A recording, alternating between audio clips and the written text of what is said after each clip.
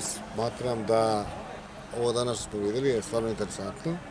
I meni je drago da kao predstavnik Pokšnjeg savjeza posvećam današnjoj utakmici i koristim priliku da Durkoviću čestitam po treći put. To nije mala stvar za redom da svoj kup